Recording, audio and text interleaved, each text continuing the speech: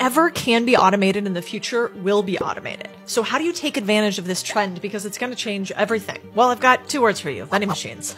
now we've covered vending machines for snacks, but what about for cupcakes? What about for healthy food? What about for PPE? What about for cars? We're even looking at a deal for vending machine for sustainable water. The truth is the future comes faster than you think and it's more pervasive. In a world where we want less employees because workers are hard to come by, less downtime, aka it's gotta run 24 7, this old boring business will continue to get a facelift.